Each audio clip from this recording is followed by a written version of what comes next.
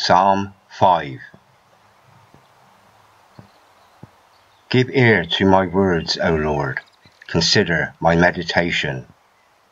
Hearken unto the voice of my cry, my King and my God, for unto thee will I pray. My voice shalt thou hear in the morning, O Lord. In the morning will I direct my prayer unto thee, and will look up for thou art not a God that hath pleasure in wickedness, neither shall evil dwell within thee. The foolish shall not stand in thy sight.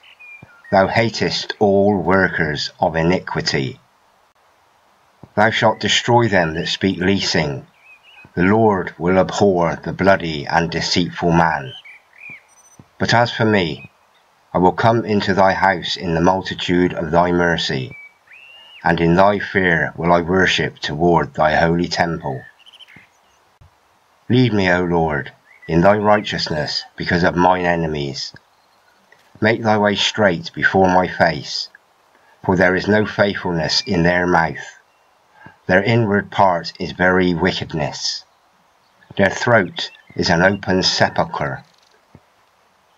They flatter with their tongue. Destroy them, O God, let them fall by their own counsels. Cast them out in the multitude of their transgressions, for they have rebelled against thee.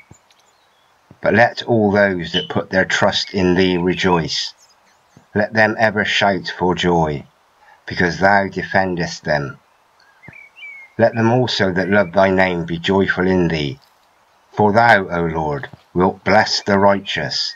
With favour wilt thou compass him as with a shield.